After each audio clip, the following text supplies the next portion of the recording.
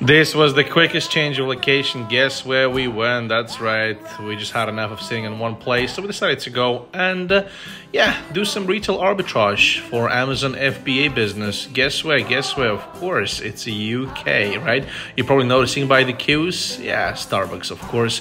Look at that burn bus on the way back home and some Chinese with some Starbucks, Dr. Pepper before. Yeah, more deliveries. Heading out.